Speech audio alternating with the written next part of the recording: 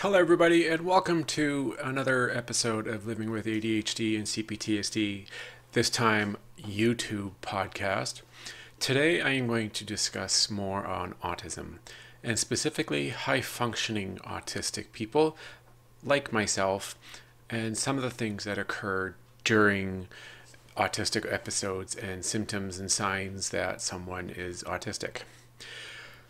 Today is a day where the realization or the reality and the fact that autis- autism is something in my life that affects me very much. So I felt that it was important to discuss this on a scale that is very beneficial and hopefully educational for those who aren't familiar or aren't as familiar with autism as some people and things to notice or realize when it comes to autism.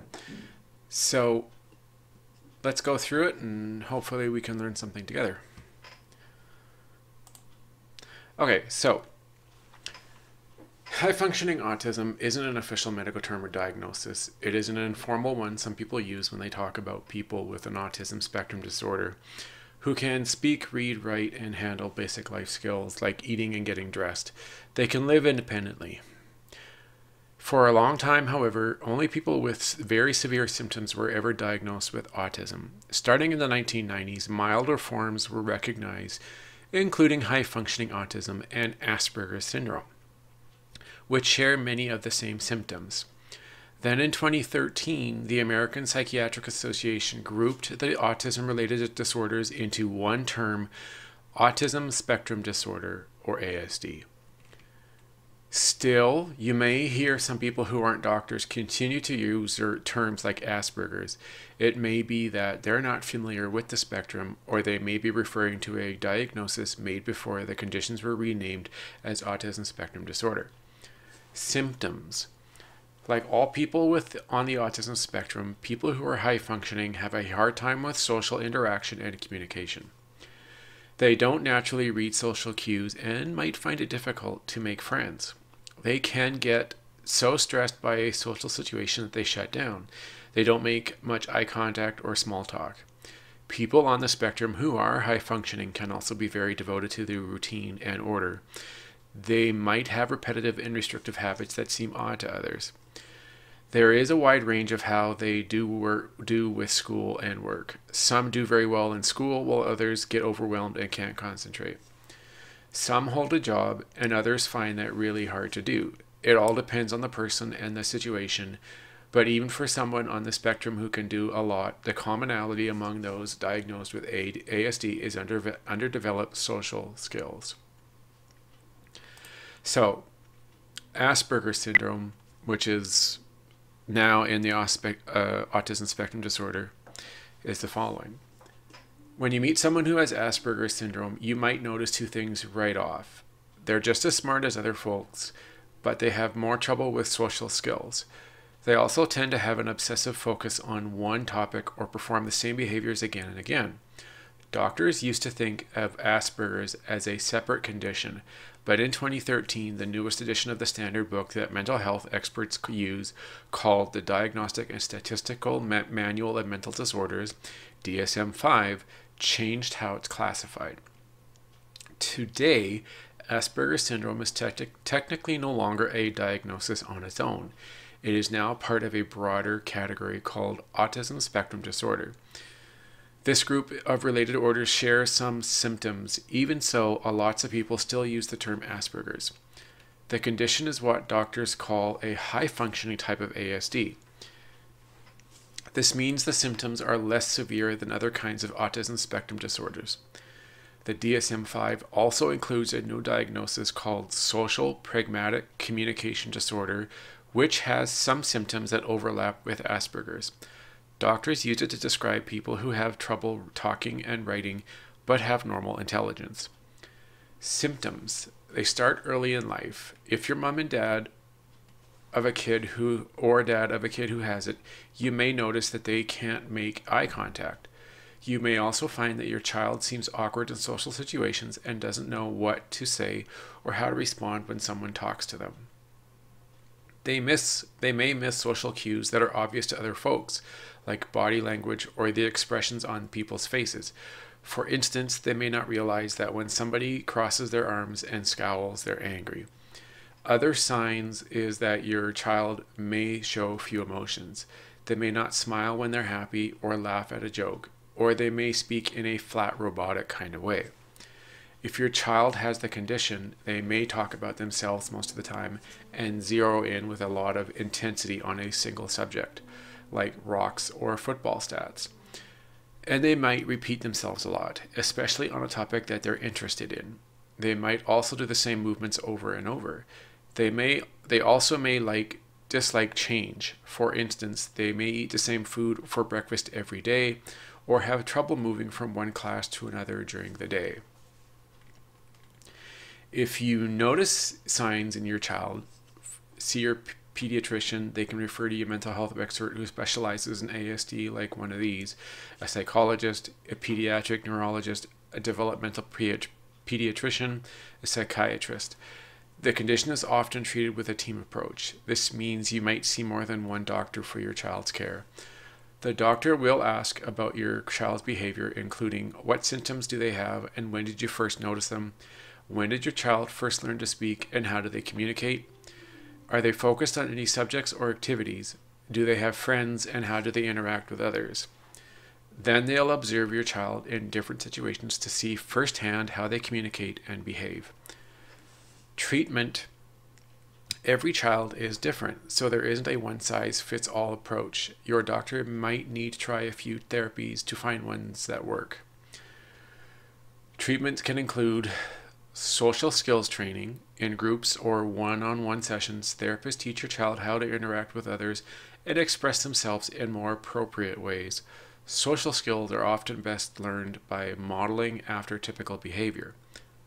Speech language therapy. This helps improve your kids' communication skills. For example, they'll learn how to use a normal up and down pattern when they speak rather than a flat tone. They'll also get lessons on how to keep up a two way conversation and understand social cues like hand gestures and eye contact. Cognitive behavioral therapy. It helps your child change their way of thinking so they can better control their emotions and repetitive behaviors. They'll be able to get a handle on things like outbursts, meltdowns, and obsessions. Parent education and training. You'll learn many of the same techniques your child is taught so you can work on social skills with them at home. Some families also see a counselor to help them deal with the challenges of living with someone with Asperger's. Applied behavior analysis. It is a technique that encourages positive social and communication skills in your child and discourages behavior you'd rather not see. The therapist will use praise or other positive reinforcement to get results medicine. There aren't any drugs currently approved by the FDA that specifically treats Asperger's or autism spectrum disorders. Some medications, though, can help with related symptoms like depression and anxiety. The doctor may prescribe some of these a selective serotonin re- reuptake inhibitors, anti- antipsychotic drugs, and stimulant medications. With the right treatment, your child can learn to control some of the social and communication challenges that they face. They can do well in school and then go on to succeed in life. All right. So, when the idea of autism came up to me and to my girlfriend when we first were thinking about it, um, the lack of understanding and the knowledge on autism was kind of limited. We were thinking Asperger's because it, like I said, is a high functioning level of autism on the spectrum. I am fully capable of living on my own, taking care of myself, you know, paying the bills, buying groceries, driving a car, etc., etc. I've been doing that for many years. Um, my issues are really to do with social aspects. Um, I have a lot of odd things that occur, like I'm not very good at recognizing emotions, expressing emotions. Um, I'm really bad at, you know, noticing social cues and recognizing what they are and what they mean, and then displaying emotion and giving the appropriate emotional response when someone is like expressing their own emotions is something that's very difficult and that I often struggle with. Um, just today, as a matter of fact, I had a struggle with the ability to show emotional response to someone.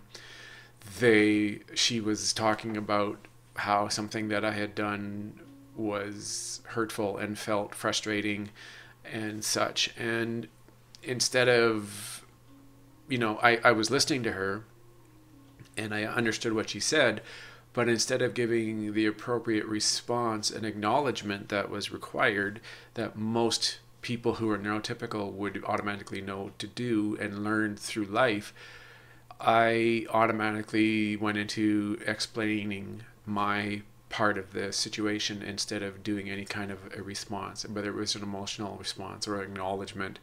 And I have always had a struggle with this. And she continually gets upset and frustrated because I always fail to do that. I'm aware after that it is something that needs to be done, and I get frustrated myself because of the fact that I realize that I need to do it, but I continually fail in the moment to actually act on that. And I'm really bad at being you know authentic or emotionally empathetic when it comes to like even giving an apology. I do sound like in the reading that i, I was showing or telling everybody i do often sound very monotone or robotic when i am speaking especially if i'm feeling like pushed or stressed or any kind of level of anxiety because I realize that I've done something wrong or there's a situation that is stressful to me, I can get very monotone. And even to be honest, when I'm doing my podcasts, it happens and I sometimes notice it and I try to change how I'm speaking and the tone and the level that I'm doing in the moment. But often it does tend to go unnoticed. And I'm sure a lot of you who have listened to my podcasts in the past and are watching my videos that I've made in this one will probably agree that you will notice that a lot of times there seems to be a very monotone, leveled speech when I'm talking. I sometimes notice it, but more often than not, I don't. So a lot of my the a lot of the things that I'm talking about, and when I'm doing my recordings, will sound very monotonish uh, and sometimes robotic and I do occasionally notice that that's what's happening. So i try to change the inf- like inflection in my voice and the level and the tone like the higher lower tone levels. Um, but it is difficult to catch. Another thing like i'm i'm a very literal person. I don't know i'm i'm actually quite poor when it comes to logic like thinking logically I tend to think very literal, and I a lot of the times will give literal responses back to someone who's questioning me or giving me details instead of you know stopping and and thinking logically and then verbalizing it in a logical manner. And people especially my girlfriend because she's obviously around me all day long get frustrated because they're looking for a logical response or, or, a logical thought to the situation, and I am not capable of doing that. I, it's, it is something that I definitely struggle with, and I am trying to learn uh, through repetition and training, which is a slow process. I am trying uh, learning or slowly learning to become more of a logical thinker and express myself more logically than literal. And I'm also trying to work on being more emotional when I'm communicating, which is extremely difficult and I often forget or don't even know that I am doing it wrong. Another thing that I find is very, very important to me and I've never really thought about it. I always thought this was an ADHD thing because you can have with ADHD routines that are important, but the routines more tend to be to remember something or remember items to you know to have a, an order so that you don't end up forgetting something whether it's like your keys or your wallet or gloves or a coat or something on the like if your stuff's all spread out there's a good chance that you're going to forget one or two items while you're trying to rush out the door because your time management skills are so poor. Autism or autistic routine like that I do is not necessarily a memory thing or remember like I do have a bad time remembering things. Uh, I often get distracted or have such a poor ability to focus on what I'm doing in the moment that I forget often that there's something like there are a lot of times where I'm trying to get out the door and I'm trying to get ready to go to work that I will have my coat and I'll have my gloves, but I like forget my keys or I've forgotten my wallet in the kitchen in the place where everything is supposed to be located.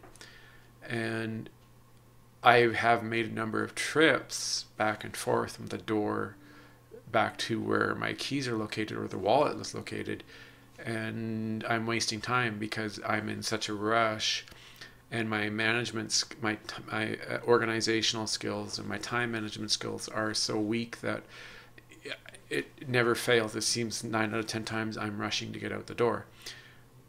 But it also a lot of this is affected by autism because there are often things in my daily life and a number of different ways. I don't remember necessarily all the different things that I do that have a routine, but there are many like tasks and chores and, and things that I do that have routines built in that feel very automatic. But until you think about it and you actually process it out in your mind, then you realize that, yeah, there's a lot of these things that are routine based.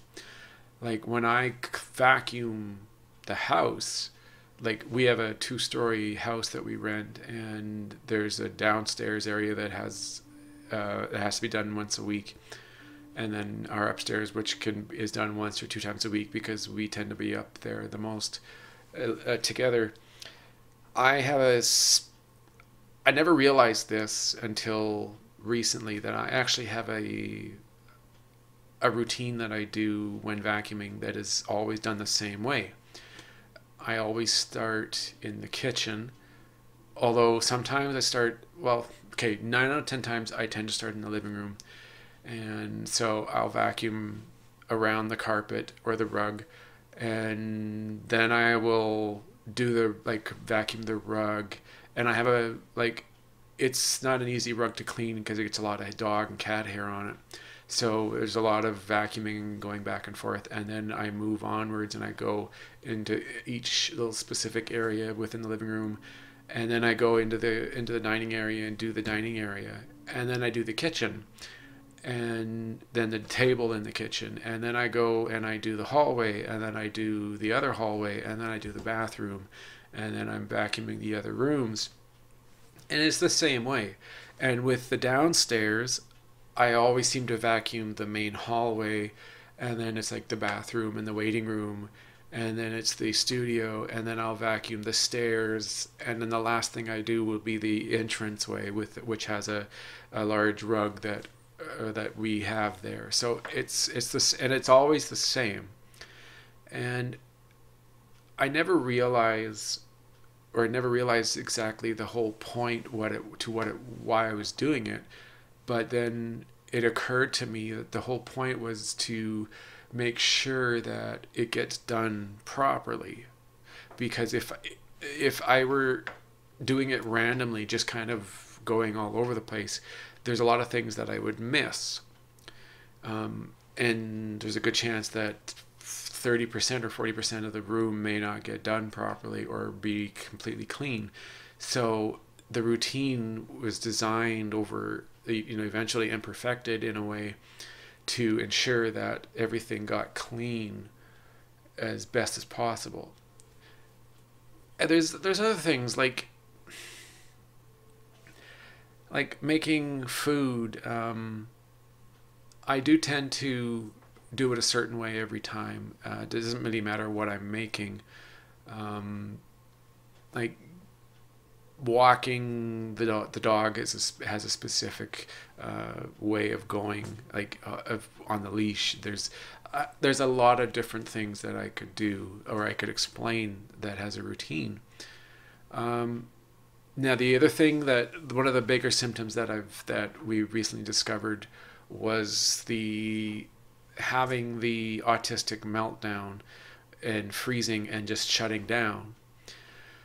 Um, if the situation got stressful or there was any sign of anxiety or where things weren't going right or it, like i noticed that things were getting a little hectic or crazy i often mentally would shut down. And signs of that occurring would be like repeating what i've said um, being told you know, you got to this is that doesn't make sense. Say it differently, and then I would repeat the same thing, or I would like start pacing back and forth in the kitchen to the to the hallway. Uh, my voice would get louder.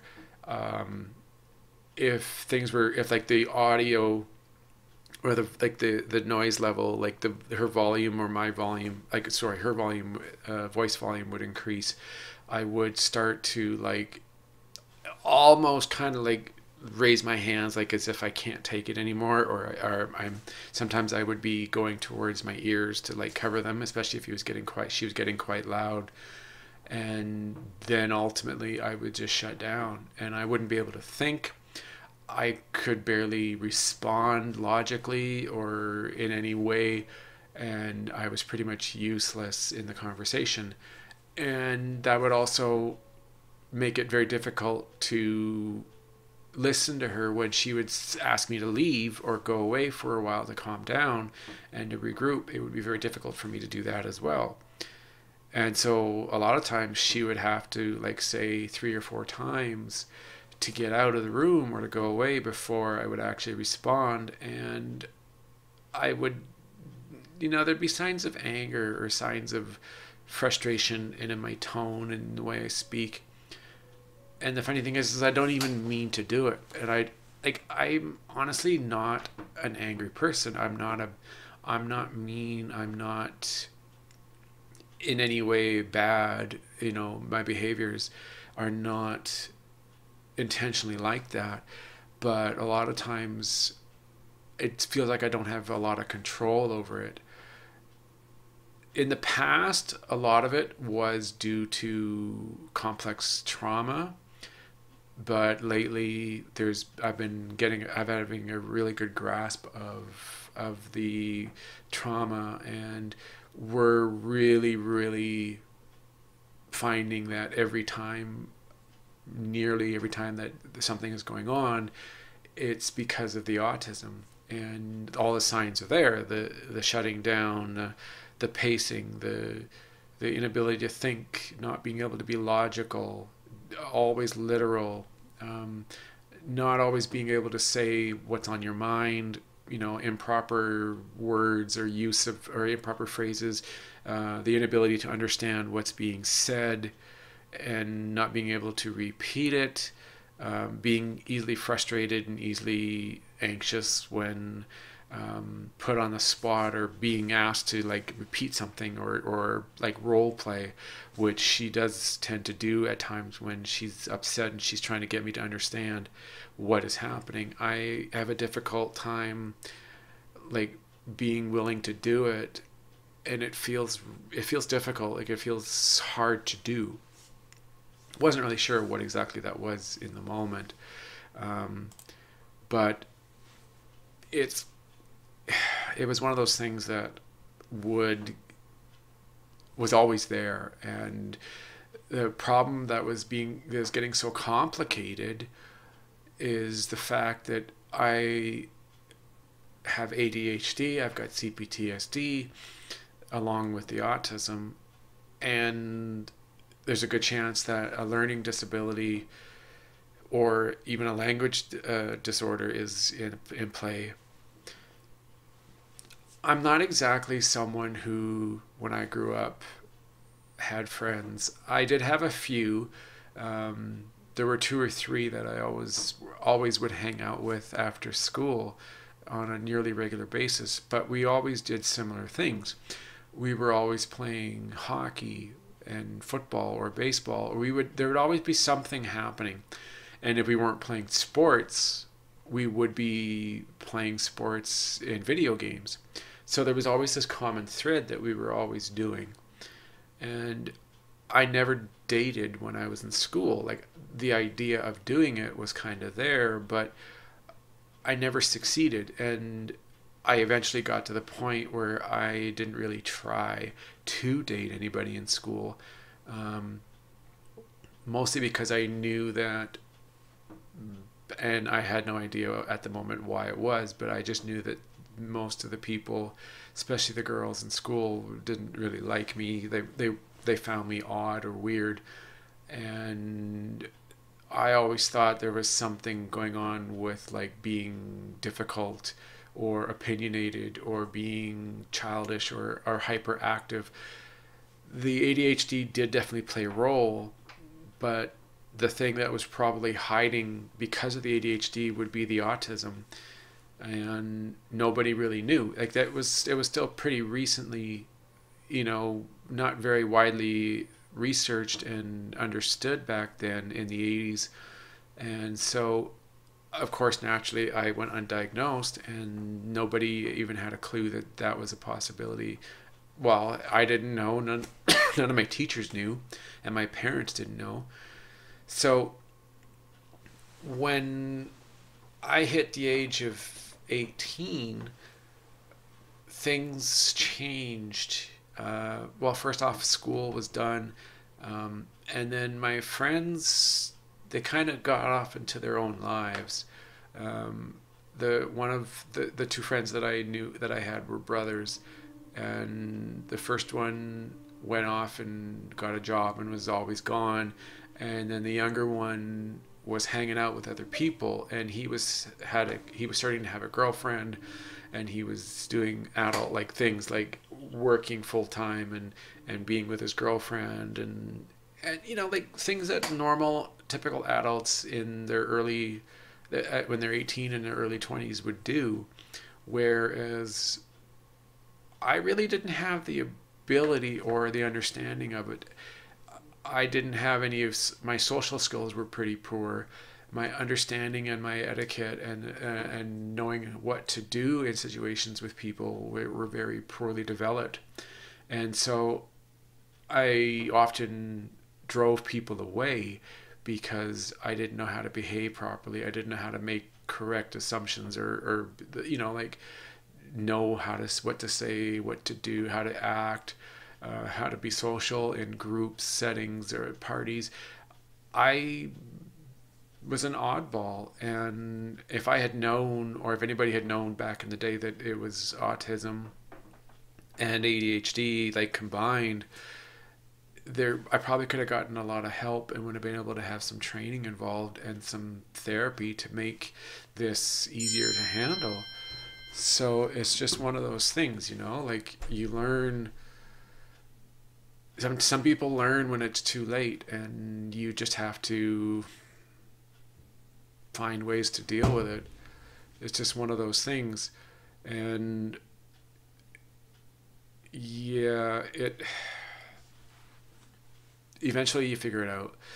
But you'll like i there's no way i can't just start over or change the way I learn. Like I learn, it's it's not an easy thing. It's actually nearly impossible to just suddenly change your behaviors and act different.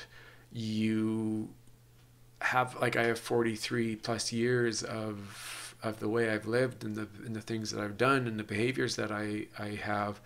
I can't necessarily just change those without a lot of training and a lot of therapy and a lot of practice and adjusting and making changes it's it's a difficult thing to do i am looking for proper therapy, and eventually I will, you know, get there, and then we'll figure it out, right? Like, we will get it, and then we'll go from there. But it does cause a lot of frustration in relationship, like in my relationship, and it's been very stressful, and I get quite angry but it's never expressed. Like I never physically show it. Like you wouldn't necessarily know that I'm angry about the situation and the fact that I have autism and uh, what it's doing to me and what it's doing to my girlfriend and our and our relationship. You wouldn't necessarily see the expression that I that I want to use. A lot of it is hidden internally, so it's difficult to see it. It's difficult to know what's happening. There are times when eventually, like, I can do it, like, I can show my emotions better, but a lot, it is difficult, to be honest, a lot of the times, just because of the way I've grown up and because of the autism. I have a very difficult time with emotions and expressing them and understanding them from other people. And then, of course, the inability or the poor ability to be logic logical in thinking and processing and understanding me things the way they work you soon learn that it, it looks looks weird or looks like I'm doesn't appear to be very intelligent or that I don't know what I'm doing or I don't know how to do things. But the reality is is that I am it's just my thought process and the way I do things is so much different than a normal a neurotypical person would. And most people wouldn't understand that because that their lack of understanding and knowledge when it comes to autism. I I know I have a long road ahead but I really want to face this head on and I want to do whatever I can to make it better it's going to take a lot of work, but I don't really care. I just want to get some sort of help and some sort of uh, assistance when it comes to dealing with it and learn how to be better logical, a better logically thoughtful person and emotionally developed and be better in social situations and improve my skills so that I can be better prepared for life, which to be honest, I'm not all that prepared for in in a normal way. I've been able to get by. Uh, I li- I have lived on my own for nearly eight years, and I have been able to survive. I haven't missed payments. I haven't had any issues when it comes to rent or or paying my mortgage or making bill payments there it's just there are some things that I have a bad time with and have a, a poor control over and haven't had any up to 2019 I hadn't had any really good relationships.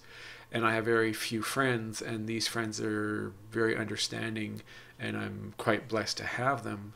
But for the most part I don't get along with a lot of people, and a lot of people don't want to have a lot to do with me because of my situation.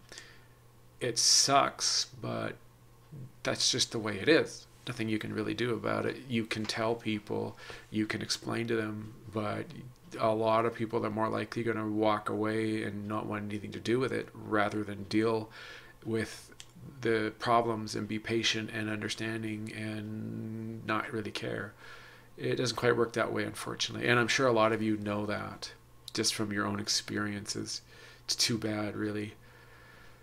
Uh, anyways, that's today's episode. Um, I hope this is um, good for you and, and it's helpful and shows you a bit more about autism and what to expect. Um, I am on Twitter. You can look me up. Uh, my username is ADHD and CPTSD. Uh, my website is www.livingwithadhdandcptsd.ca. You can donate to me and help support my podcast and my YouTube. I am at kofi.com, C K O F I.com, and buymeacoffee.com and there's also subscriptions at Anchor, which is my podcast um, platform that develops my podcasts and gets them out all over to, on the airwaves. If you'd like to give me a chat, you know, you want to talk, um, you can reach me on Twitter. Um, I am very open to talking, and I'd love to get to know people. Uh, give me a shout. Let people know about this pot, this this show on YouTube and my podcast. Um, check them out. I've got plenty of podcast episodes. There's over 40 so far since I've been on the air and I really think they I really think they'd be very helpful and educational for everybody. All right guys.